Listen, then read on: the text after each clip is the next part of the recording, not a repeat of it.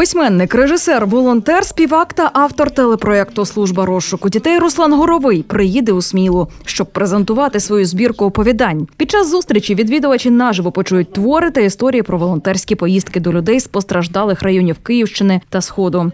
Прийміть участь у презентації книжок, обговореннях з автором та зустрічі з однодумцями. Не пропустіть можливість поспілкуватися з Русланом особисто, придбати його книгу з автографом та залишити цю зустріч із незабутніми враженнями.